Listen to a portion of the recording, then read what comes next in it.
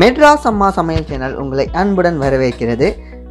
இன்றைக்கி நம்ம என்ன பார்க்க போகிறோம் பார்த்தீங்கன்னா நார்த்தங்காவில் ஊறுகாங்க இந்த நார்த்தங்காவை அதோடைய பலன்கள் எப்படி அதோட பெனிஃபிட்ஸ் எப்படி அது என்னென்னத்துக்கெல்லாம் உதவி பெறும் அதெல்லாம் பார்த்துட்டு நார்த்தங்காவில் எப்படி ஊறுகாய் பண்ணலாங்கிறது நமக்கு அம்மா இன்றைக்கி செஞ்சு காமிக்க போகிறாங்க அதை நம்ம இந்த வீடியோவில் பார்க்க போகிறோம் அதுக்கு முன்னாடி நான் எப்பொழுதும் சொல்கிறது தாங்க கீழே சப்ஸ்கிரைப்னு ஒரு பட்டன் இருக்குல்ல அதை ப்ரெஸ் பண்ணிவிட்டு பக்கத்தில் இல்லை பெல் ஐக்கனை அழுத்திடுங்க.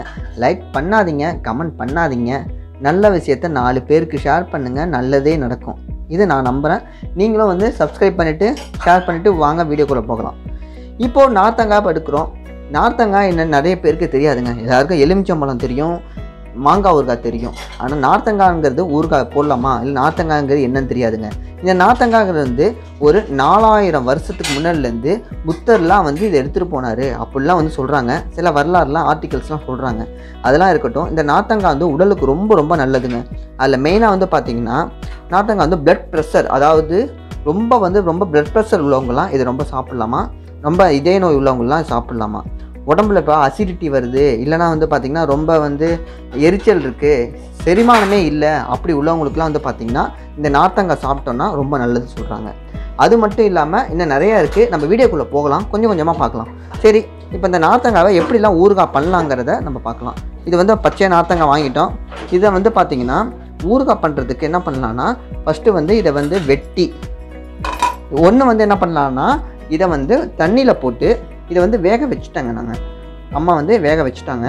இந்த நார்த்தங்காவை என்ன பண்ணியிருக்கோம் ஒரு நாலு நார்த்தங்காய் வச்சு ஊறுகாய் பண்ண போகிறாங்கன்னு வச்சுங்களேன் நாலு நார்த்தங்காவை தண்ணி வந்து ஒரு பாதி அளவு நினைற அளவு இல்லை முழுச்ச அளவு நினைற அளவு ஒரு பத்துலேருந்து பதினஞ்சு நிமிஷம் வரைக்கும் வேக வைக்கணும். வேக வச்சிங்கன்னா இதனுடைய உள்ளே உள்ள இந்த தோல் இருக்குல்ல அதுலேருந்து வர சில கெமிக்கல் வந்து அரிப்புத்தன்மை வரும். இல்லைன்னா அது வந்து கொஞ்சம் ரொம்ப பவர்ஃபுல்லாக இருக்கும். அதெல்லாம் போக்குறதுக்காக என்ன பண்ணுறாங்கன்னா இப்படி வந்து வேக வச்சுருவாங்க. வேக வச்ச பிறகு இதை எடுத்து நம்ம மிளகா வெந்தயம் அதை போட்டு ஊறுகாய் பண்ணுவாங்க. அது ஒரு முறை. இன்னொரு முறை என்ன பார்த்தீங்கன்னா இது வந்து வேக வச்சாச்சு இது ரெடியாக இருக்குது நம்ம அடுத்த ஊறுகாய் பண்ணுறதை காமிக்கலாம் இன்னொரு முறை எப்படி பண்ணலான்னா இன்னொரு முறை என்னன்னு பார்த்தீங்கன்னா அதாவது பழங்காலத்தில் வந்து பார்த்தீங்கன்னா இந்த விவசாய வேலை கூலி வேலை பார்க்குறவங்க என்ன பண்ணுவாங்கன்னா இது மாதிரி வந்து ஒரு நார்த்தங்காவை இப்படி ரவுண்டாக வெட்டுவாங்கங்க. இப்படி வெட்டுறாங்க பாருங்க அம்மா. இது மாதிரி வெட்டிட்டு ரவுண்டாக உள்ளே வந்து உள்ள அந்த சதப்பத்துலாம் இருக்குல்ல அதெல்லாம் இருக்கும். அதோட இந்த அந்த உப்பை சேர்த்து போட்டுருவாங்க கல்லுப்பு. இந்த கல்லுப்பை சேர்த்து அதில் வந்து உள்ளே வந்து சேர்த்து ஊற வச்சிருவாங்க.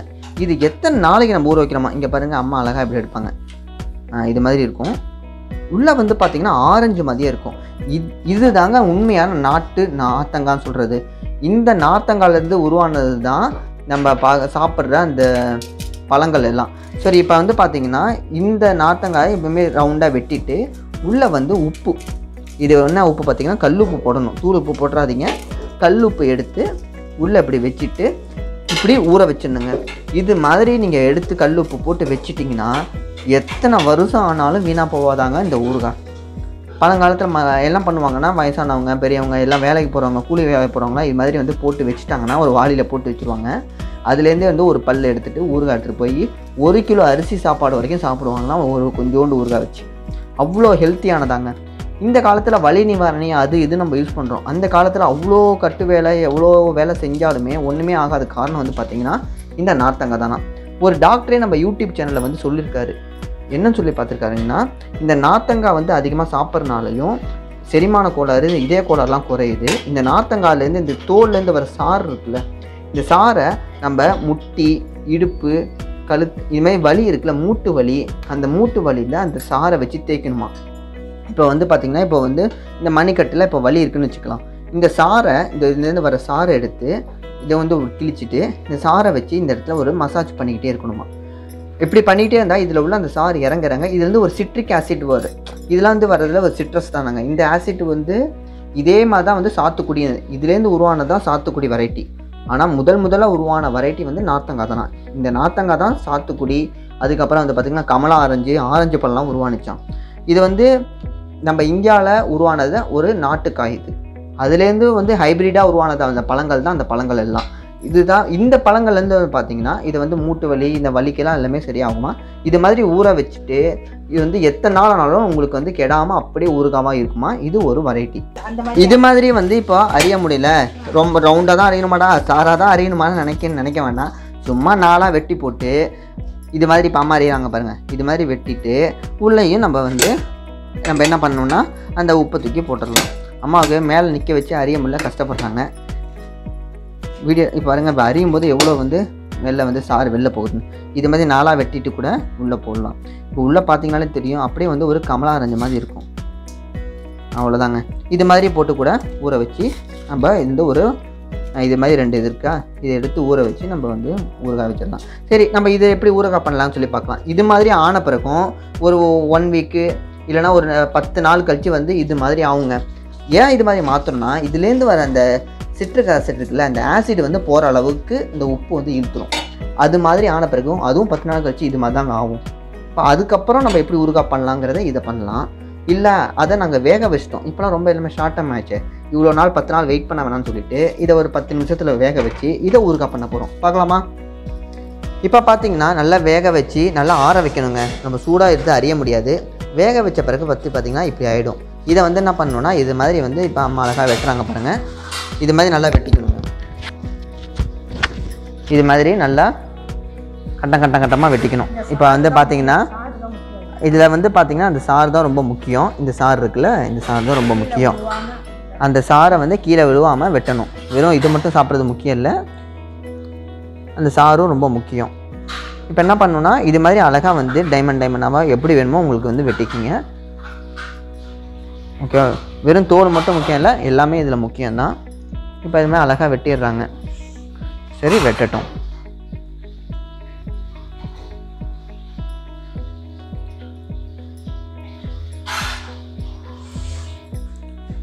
அம்மா மோஸ்ட்லி அரிஞ்சிட்டாங்க. இங்கே பாருங்கள் இது மாதிரி வந்து ஒரு தட்டு வச்சு கீழே வச்சு அரிஞ்சிங்க. இந்த சாறு வந்து கீழே போகாமல் இருக்கணும்.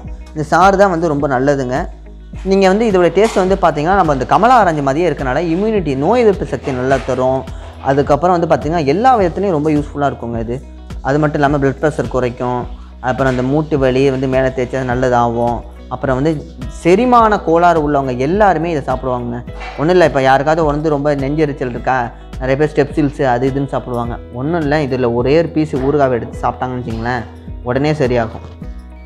இப்போ பார்த்தீங்கன்னா நல்லா அரிஞ்சாச்சு. நல்லா வந்து டைமண்ட் டைமண்டாக இருக்குது அந்த உப்பு அந்த தண்ணி சிட்ரஸ் சிட்ரஸ் இருக்குது இதை அரிஞ்ச உடனே என்ன பண்ணணும்னா நம்ம கல் உப்பை வந்து மேலே தூவிடணுமாங்க. இல்லைன்னா அந்த களிம்பு வந்து இறங்கின்னு சொல்கிறாங்க அதாவது கசப்பாயிடும். அதாவது ஊறுகாய் மாதிரி இருக்காது வேறு மாதிரி ஆகிடும் அது. உடனே வந்து நம்ம உப்பு மேலே தூவிடணும். இப்போ என்ன பண்ணணும்? ஊறுகாய்க்கு நம்ம ரெடி பண்ணணும். கடாயை எடுக்கலாம். கடாயை எடுத்துகிட்டு என்ன பண்ணணும்னா இதுக்கு தேவையான பொருள் ரொம்ப கம்மி தாங்க ஒன்றுமே இல்லை. வெந்தயம் மிளகாய் கடுகு. அவ்வளோதான் ஃபஸ்ட்டு வெந்தயத்தை எண்ணெயெல்லாம் ஊற்றாமல் நல்லா வத வதன்னு வதக்கிக்கணும். அதுக்கப்புறம் வந்து பார்த்திங்கன்னா மிளகாய் இருக்குல்ல பட்டை மிளகாய் எவ்வளோ காரம் வேணுமோ அவ்வளோ இப்போ வந்து பார்த்திங்கன்னா நாலு வந்து என்ன போட்டிருக்காங்கன்னா கடராங்காய் போட்டிருக்காங்க இது அதாவது நார்த்தங்காய் போட்டிருக்காங்க. அதுக்கு இத்தனை மிளகா போட்டிருக்காங்க. இத்தனை ஒரு பத்து பதினஞ்சு இருக்கும். காரம் கம்மியாக வேணால் காரம் கம்மியாக போட்டுக்கலாம். இல்லை நிறையா வேணாலும் நிறையா போட்டுக்கலாம். அம்மா வந்து ஒரு பதினஞ்சு இருபது போட்டிருக்காங்க. நாங்களாம் நல்லா காரம் சாப்பிடுவோம். அது மட்டும் இல்லாமல் இன்னும் ஒன்று என்னென்னு பார்த்தீங்கன்னா பெருங்காயம். இந்த மூணு தாங்க இன்க்ரீடியன்ட்டி சரி இதெல்லாம் வதக்கிக்கிறாங்க. இப்போ என்ன பண்ணுன்னா ஒரு கடுகு வந்து இந்த அளவுக்கு வந்து கொஞ்சம் போட்டுங்க கடுகு வந்து போடுங்க. கடுகை போட்டுட்டு இது மூணுத்தையும் சேர்த்து நல்லா வதக்கிட்டே இருங்க.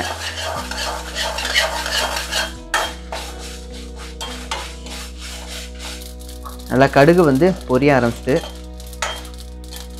ஒரு கடுகாக பொரியுதா? நல்லா வதக்கிக்கிட்டே இருங்க நல்லா.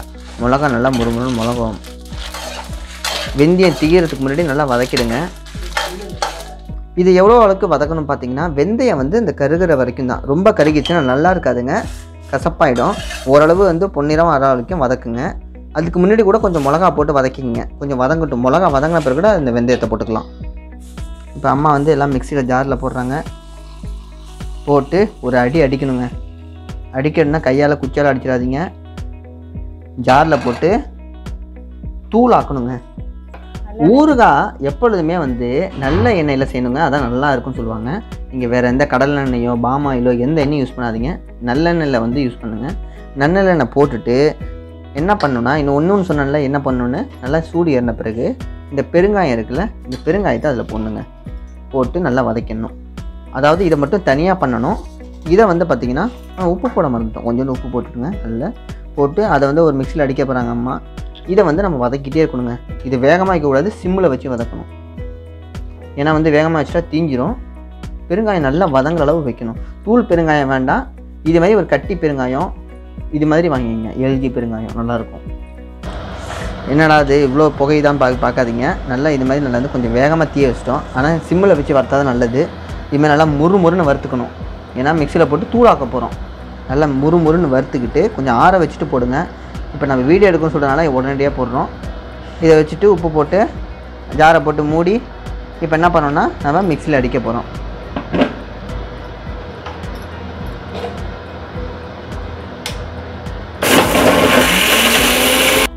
பாடி நல்லா அடிச்சிட்டாங்க. அம்மா திறக்க போகிறாங்க எல்லாருக்கும் சர்ப்ரைஸாக இருக்க போகுது. வாவ் இப்படி தூளாயிடுச்சு பாருங்கள் எல்லாமே சூப்பராக தூளாயிடுச்சு. இது தாங்க வந்து அந்த சாந்து. அது என்ன சாந்துன்னா நம்ம ஊறுகாய்க்கு யூஸ் பண்ணுற சாந்துங்க. இதுதான் போட்டு நம்ம வந்து வதக்கி இப்போ பண்ண போகிறோம் பவுடர் ரெடி ஆயிடுச்சு. நல்ல தூளாக இருக்கா பார்த்துங்க ஓரளவுக்கு தூளாக இருக்கணும் ரொம்ப தூளாக இருக்கக்கூடாது அதாலே உங்களுக்கு தெரியுது அவ்வளோதான் இப்போ என்ன பார்த்தீங்கன்னா ரெண்டே ரெண்டு கடுகு மட்டும் போட்டுக்கணும். ரெண்டே ரெண்டு கடுகு போட்டு பொரிய விட்டுக்கிட்டு அதில் வந்து நம்ம எடுத்தோம்ல இப்போது சாரோட எடுத்ததை அப்படியே வந்து அதில் போடணுங்க. அந்த எண்ணெயில் போட்ட பாரு இது இருக்கு. அந்த சாரோட அந்த சாறு தான் ரொம்ப முக்கியம். சில பேர் சாறு எடுத்துருவாங்க. வீடியோ போடுறேன்னு சொல்லிட்டு ஊறுகாய் போடுறேன்னு சொல்லிட்டு அதெல்லாம் எடுக்கக்கூடாது. அதுதான் உடம்புக்கு ரொம்ப நல்லது. சிட்ரஸ் ஆசிட் இருக்கும் அதில். இதெல்லாம் சிட்ரிக் பரம்பரை. இம்யூனிட்டி ரொம்ப தரக்கூடியது.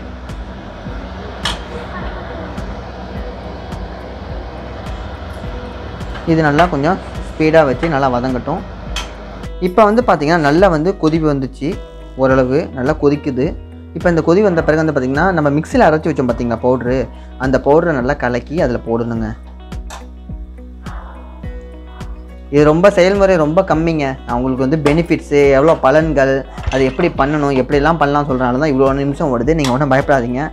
ஊறுகாய் இது நார்த்தங்காவை கொதிக்க வச்சு பத்து நிமிஷத்தில் இதுமாரி அரிஞ்சு போட்டு இதுமாரி வந்து ரெண்டு மிக்சியில் வந்து மிளகா வெந்தயம் இதெல்லாம் அரைச்சி போட்டால் நமக்கு ஊறுகாய் ரெடிங்க சிம்பிள் முறை தான். இவ்வளோ நேரம் பேசணும்னு நினைக்க வேண்டாம். உங்களுக்கு வந்து எதுக்கு நம்ம நார்த்தங்காய் யூஸ் பண்ணுறோம் இதனால் பலன் என்ன? எல்லாமே சொல்கிறதுக்காக தான் இவ்வளோ பண்ணுறோம் இப்போ வந்து நல்லா வந்து மசாலா சரியாச்சு இப்போது இதோட இல்லாமல் கொஞ்சோண்டு வந்து என்ன போ போட்டு போடுறோன்னா மஞ்சத்தூள் கொஞ்சம் சேர்த்துக்கணும். எந்த ஒரு இருந்தாலும் மஞ்சத்தூள் இருக்கணும். மங்களகரமாக ஆரம்பிக்கணும்னு சொல்லுவாங்க. இது வந்து பார்த்திங்கன்னா இன்ஸ்டன்ட் அதாவது பத்து நிமிஷத்தில் கொதிக்க வச்சு பண்ணுறது ஆனால் பழங்காலத்தில் இப்படிலாம் பண்ணலை. என்ன பண்ணுவாங்கன்னா இது மாதிரி வந்து உப்பில் நம்ம போட்டு சொன்னோம்ல உப்பில் போட்டு ஒரு வாளியில் போட்டு மூடி பத்து நாள் திறக்கவே மாட்டாங்களாம். ஒவ்வொரு வாட்டி எடுத்து எடுத்து இப்படி குலுக்குவாங்களாம். குலுக்கும்போது இந்த உப்பு வந்து எல்லா இடத்துலையும் போய் அதுலேருந்து வர ஆசிட் அதாவது அந்த சாறு எல்லா இடத்துலையும் போய் அப்படியே ஊறிடுமா. இது வந்து நம்ம கொதிக்க வச்சதுக்கு சமமாக ஆகிடும் இந்த கலர் அந்த பத்து நாள் வரைக்கும் கெடாமல் இருக்கும். அப்புறமேல் வந்து பார்த்திங்கன்னா எடுத்து இது மாதிரி ஊறுகாய் செய்வாங்களாம். நம்ம தான் இப்போ வந்து நிறைய புதிய முறைகள் உருவாக்குனால கொதிக்க வச்சு நம்ம இப்படிலாம் பண்ணுறோம் நாங்கள் இப்படியும் பண்ண போகிறோம் இதுவும் பண்ண போகிறோம் உங்களுக்கு நான் இதை மட்டும் வீடியோவில் போடுறேன். நீங்கள் அதையும் பண்ணி பாருங்கள் அவ்வளோதான் நல்லா வேக வச்சு ஒரு பத்துலேருந்து பதினஞ்சு நிமிஷம் வரைக்கும் நல்லா வேக வச்சு அந்த சாறு ஏறணும். நம்ம போட்ட சாறுலாம் அதுக்கு ஏறுற வரைக்கும் நல்லா எடுத்து கொஞ்சம் நல்லா சூடான பிறகு எடுத்து ஆற வச்சிட்டோன்னா நம்ம சூப்பரான நார்த்தங்காய் ஊறுகாய் ரெடிங்க. நீங்கள் லெமன் ஊறுகாய் கூட நான் மாங்காய் ஊறுகாய் கூட சாப்பிட்றத விட இதோட ஊறுகாய் சாப்பிட்டீங்கன்னா டேஸ்ட்டு வேறு லெவலாக இருக்கும். ஊறுகாயிலேயே ரொம்ப ரொம்ப மிகச்சிறந்த ஊறுகாய் இதுதாங்க. இது புற்றுநோய்க்கு கூட சப்போர்ட் பண்ணுங்கிறத சொல்லியிருக்காங்க. நிறைய பெனிஃபிட்ஸ் இருக்குது வாவ் அம்மா ஊறுகாய் எடுத்து சூப்பராக காமிக்கிறாங்க. பார்த்தாலே நெச்சு ஊறுது. இதை சாதத்தோடு வச்சு சாப்பிட்டோன்னு வச்சுங்க சூப்பராக இருக்கும். இந்த ஊறுகாய் நீங்கள் செஞ்சு பாருங்கள் எந்த டவுட் இருந்தாலும் நீங்கள் கேளுங்கள் கமெண்ட் செக்ஷனில் நல்ல விஷயத்த நாலு பேருக்கு ஷேர் பண்ணுங்கள் நல்லதே நடக்கும். மீண்டும் ஒரு நல்ல ரெசிபியோட நான் உங்களை சந்திக்கிறேன். அது வரைக்கும் நான் உங்கள்கிட்ட இருந்து விடைபெறுவது மெட்ராஸ் அம்மா சமையலுங்க. என் பேரை சொல்ல மாட்டேன். பாய் பாய்